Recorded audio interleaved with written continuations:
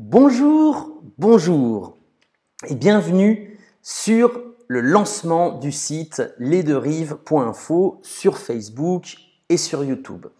Alors, déjà, je vais vous demander de partager cette vidéo. Plus on est fou, plus on rit. Donnez accès à vos followers à cette vidéo. Cliquez sur partager et sans plus attendre, nous allons répondre euh, à la question Qu'est-ce que les deux rives Alors, les deux rives, c'est une plateforme francophone d'information et d'action sur l'Amérique latine.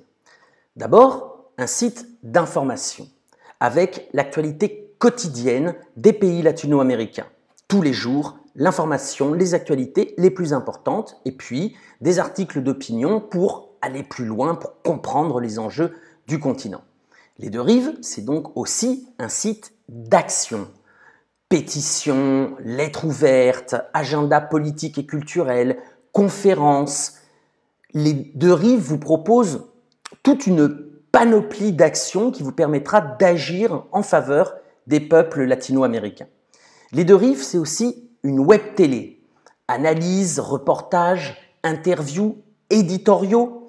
Nous compterons avec la, la présence de spécialistes de l'Amérique latine dans leur domaine, et puis des web-séries pour euh, joindre l'utile à l'agréable et passer des bonnes soirées. Les deux rives, c'est aussi un site participatif. Si vous avez l'Amérique latine au cœur, alors n'hésitez pas, rejoignez-nous, inscrivez-vous sur notre site et proposez des actions, des pétitions, des conférences, des traductions. Nous avons toujours besoin de, de traducteurs. Rejoignez-nous et agissez, mettez votre grain de sel en faveur des peuples latino-américains.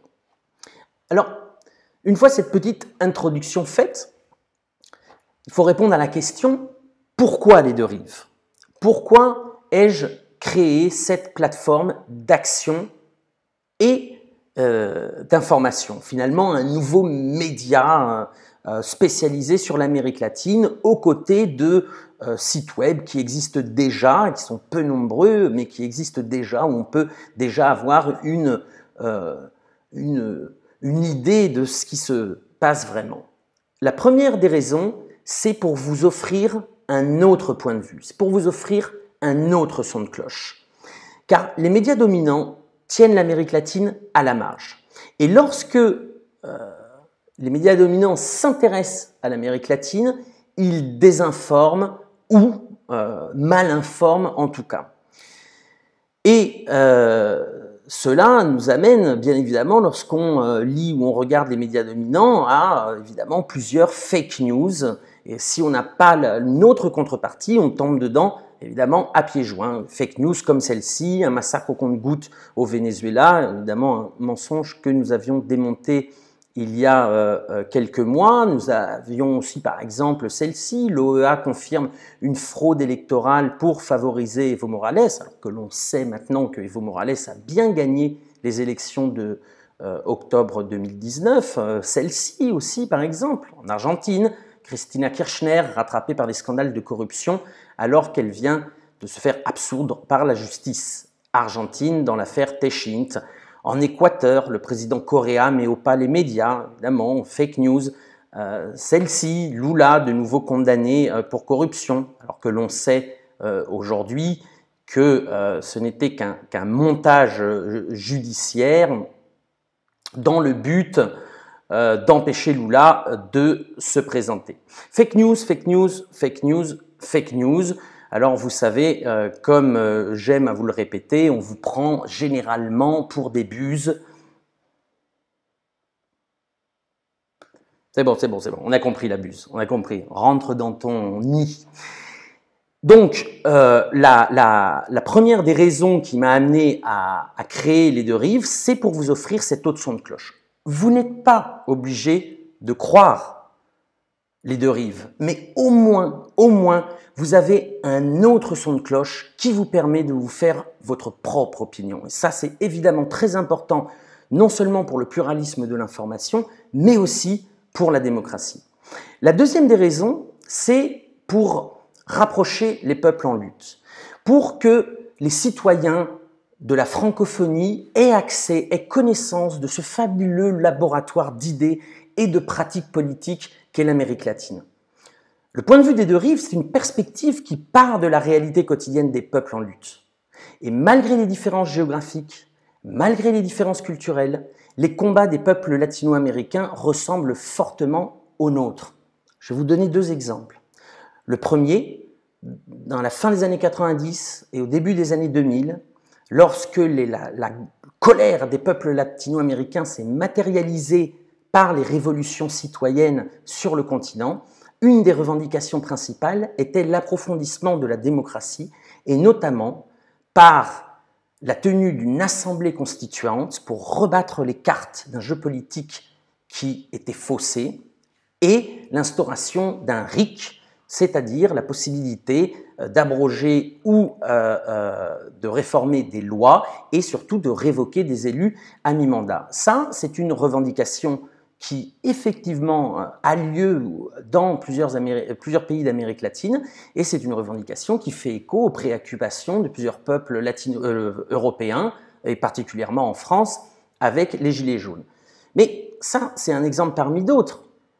Aujourd'hui, 2 juillet, c'est l'anniversaire de la naissance de Patrice Lumumba. Alors, on va donner un exemple, évidemment, qui collerait, qui ferait évidemment plaisir à ce grand euh, euh, combattant euh, africain. L'agriculture vivrière en Amérique latine et le combat incessant pour le droit à travailler la terre et les réalisations qui se font parlent directement, bien entendu, au peuple africain. Donc, les deux rives a été créé à la fois avec une, cause médiatique pour vous offrir un autre son de cloche et une conséquence politique pour vous permettre justement d'apprendre de ce laboratoire d'idées qu'est l'Amérique latine. Euh, voici donc les deux raisons qui nous ont amenés à fonder les deux rives et euh, autant vous dire tout de suite, avant de vous faire visiter le site, que ça a généré un certain enthousiasme et j'ai reçu plusieurs euh, appels de personnalités du Venezuela, du Brésil, d'Argentine, d'Équateur, du Pérou, du Chili, mais aussi de France, euh, de Belgique, du Canada, de Suisse et même d'Afrique avec un, appel du Niger pour euh, nous inciter à faire connaître les deux rives. Donc, euh, je ne vais pas vous passer les, dizaines euh, d'appels de soutien, de vidéos de soutien. Vous les trouverez sur le site, dans la rubrique évidemment Web TV. Je vais vous en passer quelques-unes. Nous allons commencer par Erika Ortega. Erika Ortega est une journaliste vénézuélienne euh, Erika euh, s'est enthousiasmée pour le projet des deux rives. Nous allons écouter le message qu'elle tenait à vous faire passer pour euh, le lancement du site Les deux rives.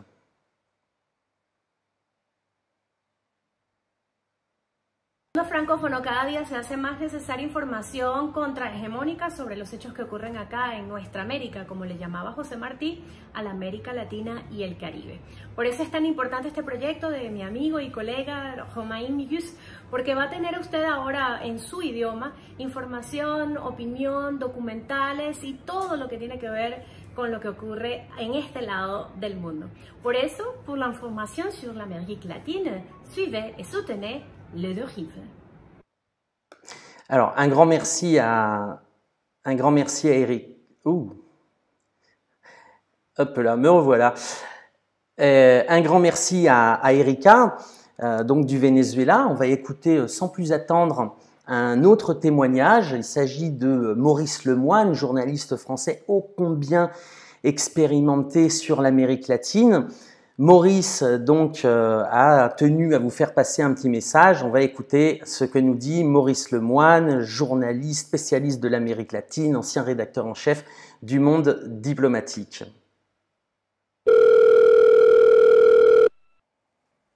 Sur l'Amérique latine, sur la Bolivie, le Venezuela, Cuba, la Colombie, l'Équateur, le Nicaragua, la presse internationale garde parfois un étrange silence et publie tout d'un coup toute une série de nouvelles euh, complètement, euh, allez, farfelues. Des infos soigneusement triées et détachées de leur contexte. C'est la raison pour laquelle nous, avons besoin, vous avez besoin euh, de médias. Alors certes, critiques quand il, quand il le faut, mais avant tout indépendants de l'esprit du système. Et voici donc que surgit les deux rives, les deux rives, les deux rives, une plateforme francophone d'information sur l'Amérique latine et sur les Caraïbes. Les sites alternatifs, il en existe déjà. Une poignée, hein. on, peut, les citer. Euh, Mémoire des luttes, Le Grand Soir, Bolivar Info, Venezuela Info, Vénésol chez nos amis belges, pour ne citer qu'eux, hein, et que ceux que, que, j'oublie ne, ne, m'en veulent pas. Mais enfin, ils ne sont pas pléthores. Et non seulement ils ne sont pas pléthores, mais en plus, ils ne se font pas concurrence. Hein. Chacun avec sa sensibilité, ils se complètent. Raison pour laquelle l'arrivée des, deux rives va euh, enrichir euh, incontestablement euh, le panorama. Alors, les deux rives, les deux rives, oui, ok, mais qu'il n'y ait pas d'équivoque dans mon message. Hein. Je ne suis pas en train de vous dire que les deux rives et le journaliste indépendant qui va tenter de les relier, et j'espère pour lui que ce n'est pas à la rame, Romain Migus, ils seront parfaits, ils sont parfaits. Non, on, peut, on pourra ne pas partager toutes leurs analyses. Mais Migus, Migus, il a quand même euh, un avantage sur Erner, sur Demorand, sur Salamé, sur les Calvi, dont je parlais précédemment. Il n'analyse pas la situation en surfant sur du vide. Il connaît parfaitement le terrain. Il connaît parfaitement les faits. On pourrait dire en gros qu'il fait du journalisme à l'ancienne. L'un des enjeux majeurs de la défense du journalisme, c'est le combat pour le pluralisme.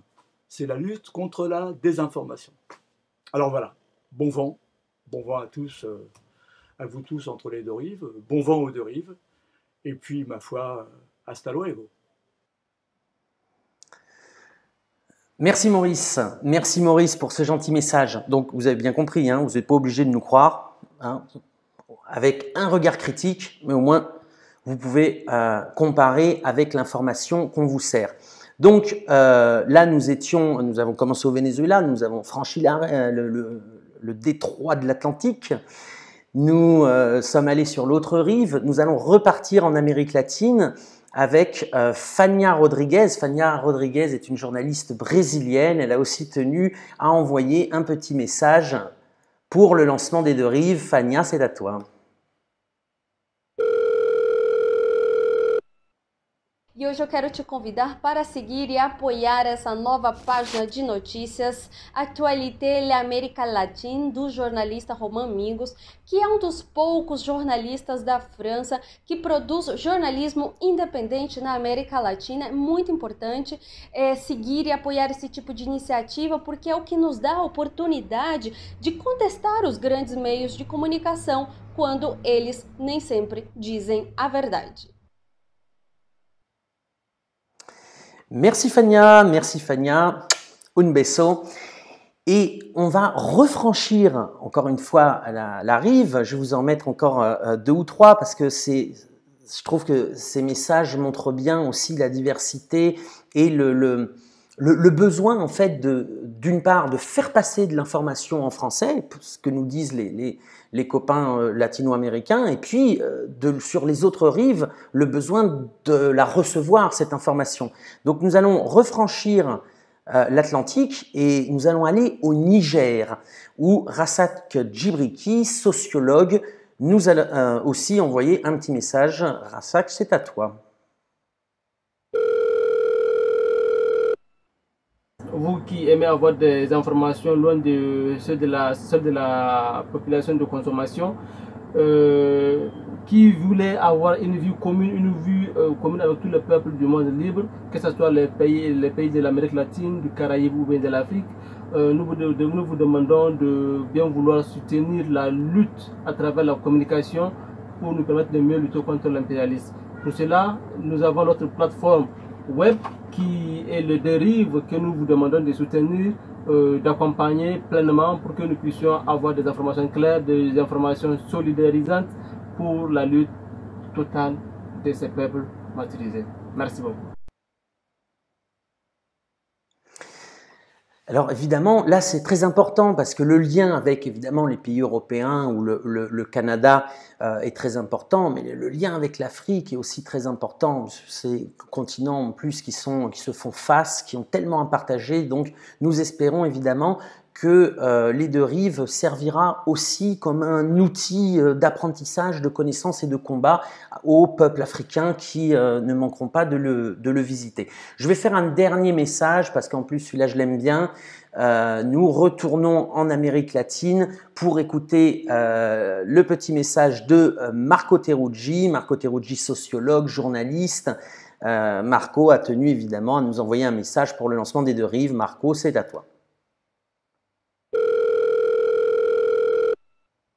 Je veux vous inviter à lire les deux rives et avoir accès ainsi à des informations sur ce qu'il se passe en Amérique latine. Il est important de savoir que la plupart des ah, nouvelles... Là, je vois que nous avons un problème avec euh, Marco Teruggi. Donc, euh, ce n'est pas grave. Eh ben, écoutez, on va finir, pour finir quand même sur l'Amérique latine, on va euh, repasser sur l'autre rive et nous allons écouter Maria Emilia Tijou euh, sociologue au Chili, Chili, pays en lutte euh, en ce moment même. Je vous parle aujourd'hui pour vous dire que le Deux Rives est un site web essentiel. Il est très important pour comprendre notre réalité et faire savoir ce qui nous arrive à tous les habitants de l'Amérique latine pour le public francophone. C'est un outil nécessaire que je recommande vivement. Donc suivez et soutenez le deux rives.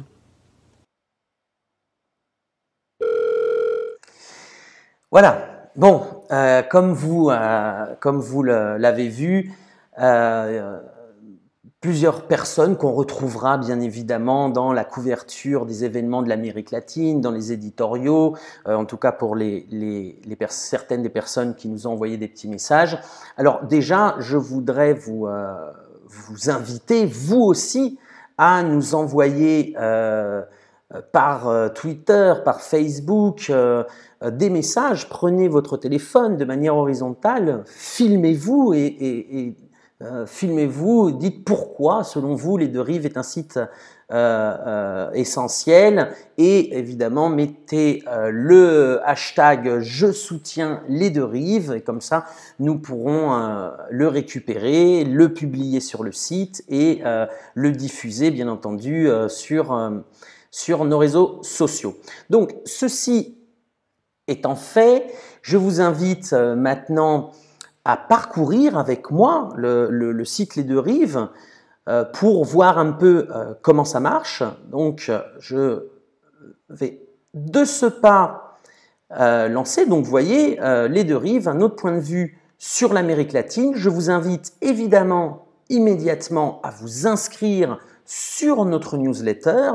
Donc, vous recevrez de manière hebdomadaire ou, euh, tous les dix jours. Hein. L'idée n'est pas de pourrir votre boîte mail, mais un condensé de l'information sur l'Amérique latine, de nos vidéos, de nos analyses et euh, des articles d'opinion. Euh, L'Amérique latine en direct, évidemment, c'est les actualités, donc plusieurs articles par jour, et un autre point de vue sur la réalité du continent, donc euh, ça, il s'agit avant tout des articles d'opinion. Ça, euh, le dernier que j'ai publié, qui sortira demain, mais vous pouvez le voir en avant-première sur les deux rives, le jour où le Venezuela a failli racheter l'Olympique de Marseille. Je suis sûr que vous ne saviez pas cette anecdote. Alors, je vous avais dit, euh, le deux rives est un site participatif. Donc ça, c'est évidemment très important et nous vous invitons à, participer aux deux rives. Donc, voulez-vous vous investir à nos côtés? Donc là, vous euh, mettez ce que vous pensez apporter aux deux rives. Je traduis des textes, j'ai de l'expérience dans l'audiovisuel, évidemment, c'est essentiel pour nous. J'écris des articles, je vis en Amérique latine, c'est essentiel aussi pour avoir un lien avec des personnes euh, qui vivent sur place.